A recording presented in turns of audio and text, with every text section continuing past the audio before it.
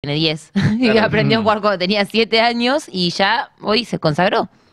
Vamos a hablar con su profesor, con el profesor de Faustino Oro. Faustino Oro es este pibe de 10 años y su profesor se llama Tomás Sosa y es con quien vamos a charlar a continuación. Tomás, bienvenido, un fuerte abrazo, gracias por tu tiempo, ¿cómo estás? ¿Qué tal? ¿Cómo están? Mucho gusto, buenas tardes. Sí, Tomás, contanos un poco de esto, porque yo realmente cuando chequeábamos un poco la información y nos metíamos en tema para hacer la nota, veía que un pibe de 10 años se estaba midiendo contra uno de 33. ¿Cómo, cómo, cómo termina siendo posible esto, e- este hecho histórico que se dio? Bueno, eh, se jugó una modalidad de torneo online que básicamente vas jugando muchas partidas una tras de otra y si vas ganando te- como que te van parejando con la gente más fuerte, si vas perdiendo con los que van perdiendo y constantemente estás jugando sin parar. Bueno, en un momento le empezó a tocar la gente más dura, eh, él ya ha jugado a estos ritmos con otros jugadores muy fuertes, incluso contra algunos de los primeros eh, del mundo también y les ha ganado a veces.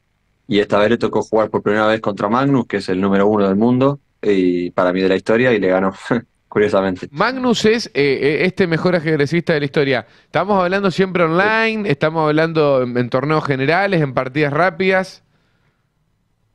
La partida fue online, pero Magnus es el mejor de la historia de todos los ritmos eh, y de partidas presenciales como online también, digamos. O sea, es el mejor en todo. Es como Dios, básicamente. Sí, sí, sí, tremendo. Y este pibe de 10 años que es nuestro, que es argentino, Faustino Oro, que aprendió a jugar el ajedrez hace tres años. Creo que tres años y medio, si no me equivoco, en la pandemia, sí. Mediados de 2020, por ahí. ¿Cómo es una partida rápida? ¿Tenés un tiempo determinado para mover? En todas las partidas, nosotros tenés un tiempo determinado, limitado para mover, porque si no podrías estar toda la vida esperando. Y en este caso, esta es una partida bullet, que significa bala, y jugás a un minuto por jugador. O sea, yo tengo un minuto total para hacer todas las jugadas de la partida y mi rival lo mismo. Ok, bien. Cada jugada un minuto, tenés un minuto en total. ¿O es...? Exacto. Sí, bien. No, no, cada jugada no. En total tenés un minuto para toda la partida. Ah, Claro, súper rápido. Pará, se te, termina el, Claro. se te termina el minuto y perdés, digamos. Exacto, cuando yo realizo la jugada, automáticamente mi reloj se para, mi Bien. minuto, digamos, se para, por lo que me queda, y empieza a correr el minuto del otro. Y así constantemente, jugada a jugada y el tiempo va así. Claro, son partidas que duran entonces dos minutos o menos, si no me equivoco. O máximo dura dos minutos, sí. Ahí está. Claro. Claro, pero aparte imagínate la velocidad matemática. mental que tenés que tener para poder resolver un juego con las características y la complejidad que es una partida de ajedrez. Me parece que el punto central es cómo logró Faustino destrabar esto en tan poco tiempo, más allá de que obviamente era la modalidad, pero con alguien tan grande como quien estás mencionando vos. No solamente de edad, Claro, sino de trayectoria. de trayectoria, claro. Sí, sí, sí.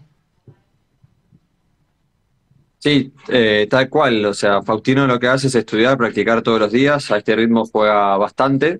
Eh, de hecho, bueno, creo que todos los sábados se juega ese torneo, esa modalidad, y está acostumbrado. Hay diferentes formas de entrenar, algunas son un poco más rápidas, más de golpe de vista se le llama, o sea, que vos ves la posición y en un segundo ya tenés que resolverlo, y hay otras que son más de profundidad, tenés que pensar mucho más tiempo. Tomás. Estas partidas que jugué, Sí, sí, Sí, seguí, seguí, seguí. Estas partidas ibas a no, decir... esta partida que jugó, que es a un minuto, es así, o sea, es todo golpe de vista, es todo velocidad, sobre todo. Claro, claro, te- mucha rapidez. Eh, ¿Cómo llegás vos, Tomás, a, con Fausti a empezar a, a prepararse y demás? Y, y los planes a futuro también, porque ahora ya llegó a este lugar que me imagino que debe tener un montón más de espacios por conquistar. Sí, bueno, antes que nada, ya que, que tengo el espacio, me gustaría aclarar que yo soy el profesor que acaba de empezar con él, o sea que Ok. todos los méritos y éxitos que él tiene nada tienen que ver conmigo, sino más bien a su trabajo, a su familia y a los profesores anteriores, entre Bien. ellos, bueno, y actuales también, porque no soy el único, tiene otros profes. Entonces, a mí justo me agarraron también porque subí una foto hace unos días que estaba trabajando con él, es verdad que ahora estamos trabajando juntos, Ujú. pero bueno, en fin. ¿Cómo llega a mí? Eh, ellos, la familia de Faustino, junto con los padres, quieren que él progrese lo máximo posible, entonces se deciden venir a Europa, a Barcelona precisamente, o a España, y eligieron Barcelona, que es el lugar donde más torneos se realizan y los torneos más fuertes, sobre todo a nivel mundial, incluso europeo. ¿Esto qué, Y, qué momento fue? bueno. ¿Qué año? Ahora en diciembre tomaron la decisión, más o menos, noviembre, diciembre, vinieron, tuvieron que volver a Argentina porque había que resolver unas cosas y creo que desde febrero ya están acá asentados. Ah, De hecho, ahora mañana van para Alicante, por eso Fausti no está acá. Eh, va, va para Alicante a jugar un torneo y se está concentrándose a full. Ah, Antes de ayer y ayer estuvimos preparando y bueno, a partir de mañana empieza el torneo. Estamos viendo la partida que jugaron en este momento, tal vez vos la, también la estás viendo, Tomás. Es increíble la velocidad que juegan.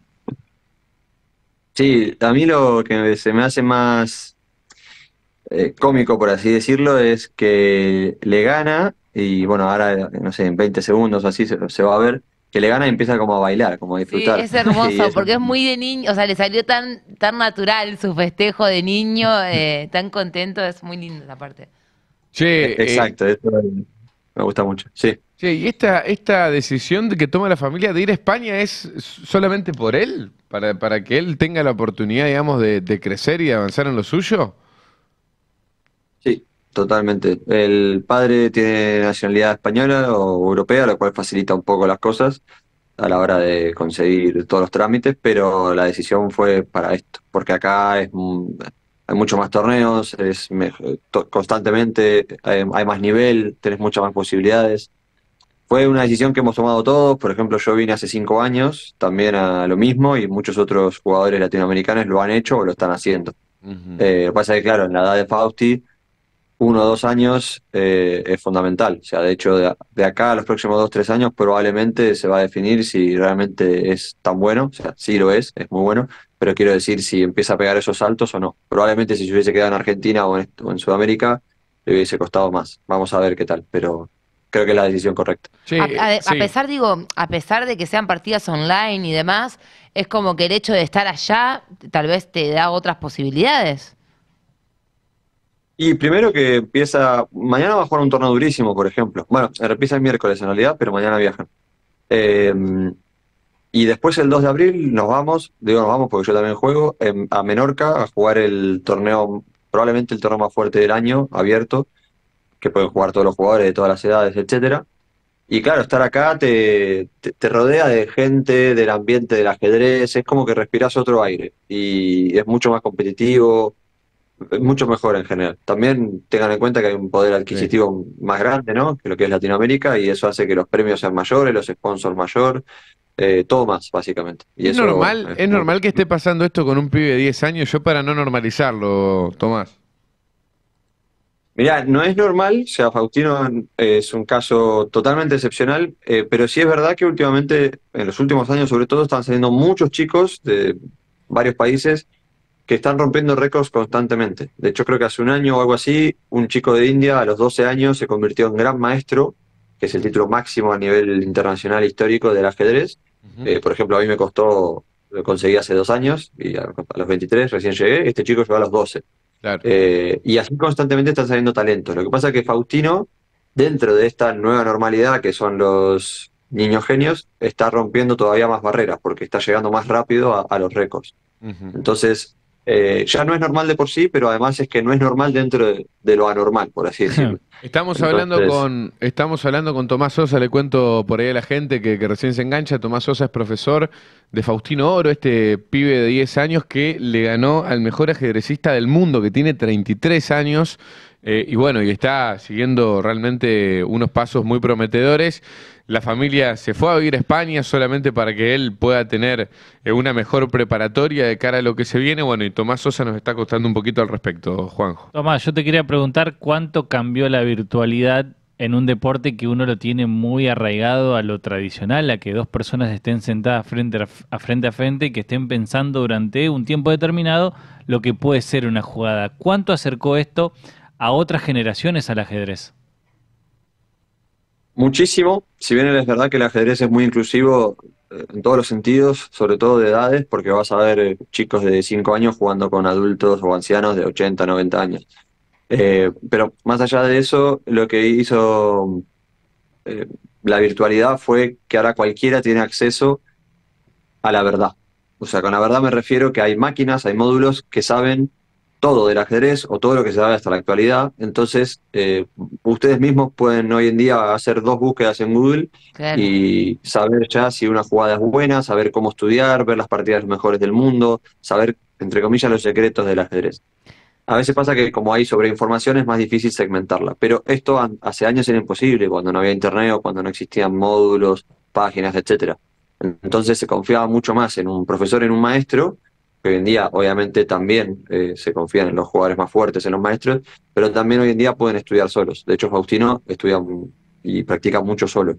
Entonces la virtualidad, sobre todo, además de, de conectar, que yo pueda jugar ahora, termino esta llamada y me pongo a jugar con alguien en Rusia, eh, por ejemplo, sobre todo lo que hizo es que cualquiera pueda tener al alcance de la mano toda la información que se conoce hasta el día de hoy del ajedrez.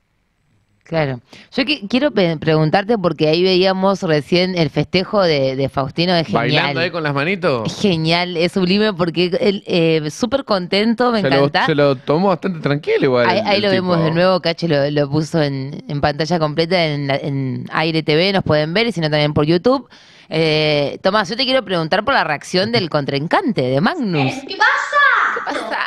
Mira, eh, la verdad es que no la vi, no sé si estaba haciendo streaming Magnus, o sea que no sé si hay reacción de Magnus. Ah, Probablemente no estaba muy, sí, probablemente no estaba muy contento porque es una persona que le desagrada perder completamente. De hecho, Ah. pueden buscar clips de, de él que cuando pierde se enoja bastante, en general, ¿sí?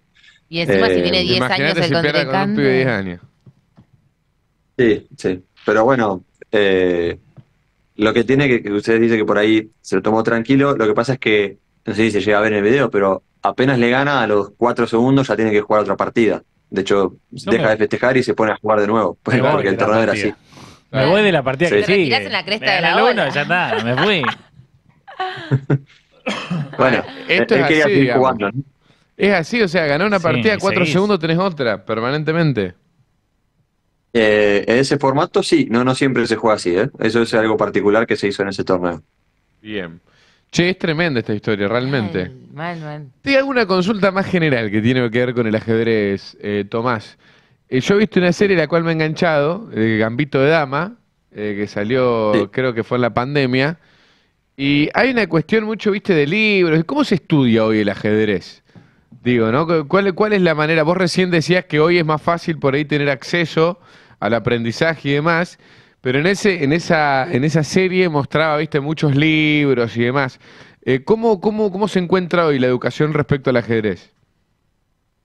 Claro, lo que pasa es que esa serie está ambientada más o menos en los años 60 y Claro. pico, 70. Por eso. Eh, claro, que en ese momento sí, era con libros. De hecho, eh, podríamos decir que en gran parte los buenos libros o buen material solo tenían acceso a los soviéticos, los rusos, que eran los que dominaron el ajedrez eh, durante muchísimo tiempo. Claro. Y entonces era más difícil. Eh, hoy en día, como te digo, es mucho más fácil, está al alcance de la mano. Y tenés desde aplicaciones o páginas, como puede ser Lichess, chess.com, que son quizás las más conocidas. Tenés, bueno, en YouTube puedes buscar simplemente lo, lo que quieras. Literalmente buscas el nombre y te va a aparecer por lo menos un youtuber de ajedrez que te esté analizando, comentando, enseñando, etcétera. También depende del nivel, ¿no? Y después tenés eh, transmisiones, todos los días tenés torneos, también hay gente que transmite sus torneos, así como hizo Fauti. Tenés profesores que dan clases, tenés torneos todos los días y tenés módulos y bases de datos. Bases de datos son básicamente unos programas, unos archivos donde hay almacenadas cientos de miles de millones de partidas. Entonces, claro, eh, yo toco un botón y claro, tengo tantas partidas que no las voy a poder mirar todas. Pero sí es verdad que eh, hay como unas estadísticas que me van guiando y en nada, en 10 segundos ya sé cuál es la mejor jugada, por ejemplo. Y así voy estudiando. Bien. Es un proceso, es un mundo gigantesco, es muy bonito y hoy en día tenemos esta virtud, por así decirlo, de que todo el mundo puede estudiar. Y el tema negocio, porque obviamente me lo veo a Fa- Fausti ahí, entiendo de qué es lo que está jugando y demás, me imagino que el stream y demás trae también toda una cuestión por detrás que no solamente tiene que ver con Fausti, sino con todos los jugadores, en donde se termina convirtiendo en un negocio también. Sí, eh, eso es lo que a mí me gusta de Fausti. Eh, a ver, yo por ejemplo, yo soy jugador profesional de ajedrez, gran maestro, soy bueno, por así decirlo, eh, y llega un momento que, incluso a los 14, 15 años, me pasó que ya era bueno y me empecé a profesionalizar, a ganar dinero, etcétera. y lo empiezo a ver como un trabajo. Y esto es algo que le pasa a muchos, a la gran mayoría, por no decir a todos. Y Fausti, que ya es muy bueno, eh, todavía no lo ve como un trabajo, lo ve como un juego. Y eso es- me parece que es lo lindo. Si vamos ya a la parte más profesional o, más monetaria, ¿no? De cómo uno puede ganarse la vida con el ajedrez, hay premios en los torneos, tanto online como presenciales. Los presenciales tienen mucho más premios, sobre todo porque en los online hay mucho cheating, o sea, muchas trampas Claro. y no se sabe bien cómo detectar, por eso no se quiere poner todavía mucho más dinero, pero bueno. Y luego hay eh, dinero, bueno, por prestación de servicio, como decía antes, o sea, yo te doy una clase y bueno, vos me pagas por eso, o te doy un curso, o te vendo X cosa, etcétera. Claro. Se pagan por actividades de ajedrez, como puede ser una charla, o puede ser una simultánea que es una persona jugando contra muchos, puede ser una exhibición. Bueno, hay muchísimas modalidades en las cuales un profesional, un jugador muy fuerte, puede cobrar por eso, además de jugar. Acá Giuliano en el mensajero nos dice, buenas tardes. No solo le gana el mejor del mundo hoy, sino que es considerado el mejor de la historia, este Magnus, como para que aclaremos, que no es que le ganó solamente al mejor del mundo hoy, al mejor de la historia, que es un poco también lo que decías vos, Tomás, al principio de la nota. Sí, eh, siempre es un poco relativo el hecho de decir el mejor de la historia, porque es como comparar, no sé, a Ma- Maradona con Messi, ¿no? Son Claro. épocas diferentes. etcétera. Totalmente. Pero si vamos a lo que son los números y, y para mí, por ejemplo, a, a estilo de juego, cómo juega y, y exactitud, etcétera, para mí el tipo es el mejor de la historia. Y lo curioso es que es el mejor de la historia y de la actualidad. Eh, y además, mm, hemos dicho que hay diferentes ritmos. El tipo es el mejor de la historia y de la actualidad a todos los ritmos. Eso es lo gracioso o, o lo curioso.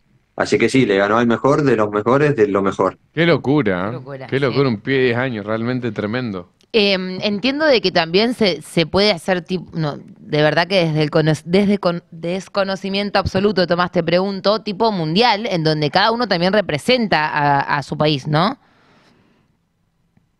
Si hay torneos mundiales, Sí. decís. Sí. Sí, hay, hay varios. Eh, están los que son por categorías, que en este caso Faustino sería menores de 12 años. No sé si va a jugar este año o el año que viene. Y Después, eh, bueno, las categorías van cada dos años, ¿sí? Ah, Y ok. después tenemos el que sería el absoluto, que es juegan todas las edades, que por ejemplo Magnus, el- el que Faustino le acaba de ganar, él fue campeón Magnus durante 10 años más o menos, 9 años por ahí. Y ahora es eh, un chino el campeón, pero no porque el chino le haya ganado a Magnus, sino porque Magnus renunció. O sea, venía ganando siempre y dijo, bueno, me aburrí, no, no motiva. Sí, y dejó de jugar, renunció al título.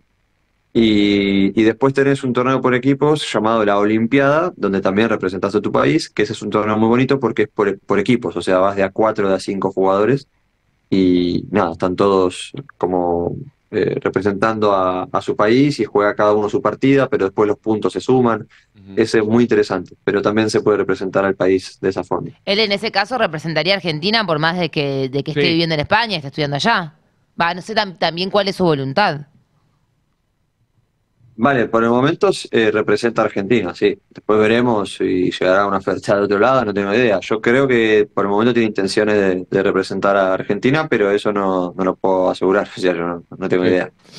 Tomás, querido, muchísimas gracias por tu tiempo, realmente. Y bueno, hiciste bien en eh, no solamente, eh, más allá de que vos sos su profesor ahora, todos los profesores que, que tuvo en estos tres años, que fueron los que también lo llevaron a, a este logro de ganar a uno de los mejores jugadores, si no el mejor de toda la historia, como este muchacho Magnus de 33 años, a quien le ganó Faustino Oro de 10. Así que felicitaciones por, por lo que te toca. Bueno, muchas gracias, sobre todo agradecerle a ustedes y sí, como dije, creo que al comienzo, eh, los profes todos tienen su mérito, voy a nombrar algunos de ellos, Sí, dale, espero por no olvidarme ninguno.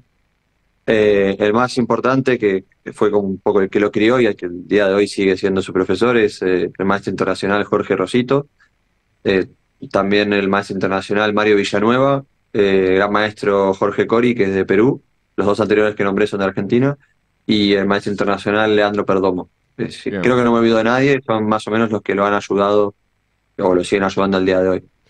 Tomás, querido, un fuerte abrazo y muchísimas gracias por tu tiempo. Un abrazo a ustedes, hasta luego. Y éxitos, éxitos para vos también, porque vos también vas a competir, así que éxitos Sí. para, para vos también, Tomás. Bueno, muchísimas gracias. Gracias. Tomás Sosa, profesor de este pibe de 10 años, Faustino Oro, ¿quién derrotó al mejor de toda la historia? dijo Hincha de. Vélez. Como que a los 10 Faustino. años vos le hayas Sí. ganado a Federer El, sí, en un torneo. el tema que de otra disciplina, porque acá lo físico no cuenta. No, claro. Me sorprende a mí eh, cuando veo la partida la velocidad a la que juega. Parece que está en cámara rápida el video, ¿viste? Parece que está acelerado. Sí, que está acelerado, que se mueve súper rápido y el festejo de él hermoso al final. Aparte porque él antes de ese festejo está diciendo, uy, estoy cerca de perder, no, voy a perder. No, t- todo, todo en súper velocidad, Sí. súper rápido, al mismo tiempo pensando en la jugada, al mismo tiempo dónde iba a mover, a dónde iba a mover la otra persona y bueno, y finalmente el festejo bailando como cualquier niño de 10 años que gana algo, bailando así, eh, al- Hermoso ganándole al mejor del mundo. de Gran momento que hemos vivido, que hemos tenido la posibilidad de charlar con el profesor de este pibe de 10 años que le ganó al mejor ajedrecista de la historia para Sí. Tomás Sosa. Más allá de que sea relativo para él, eh, él definió que este Magnus de 33 años es el mejor de la historia, así que las felicitaciones Noruega. para Faustino. ¿El noruego, Sí. el muchacho este? Sí. Sí.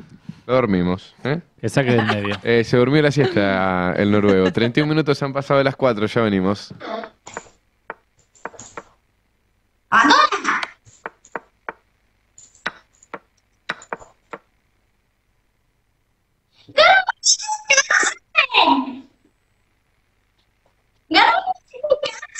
¿Qué pasa? Santa Siesta, hasta las 17. Hacemos lo que queremos, menos dormir. Hola Gise,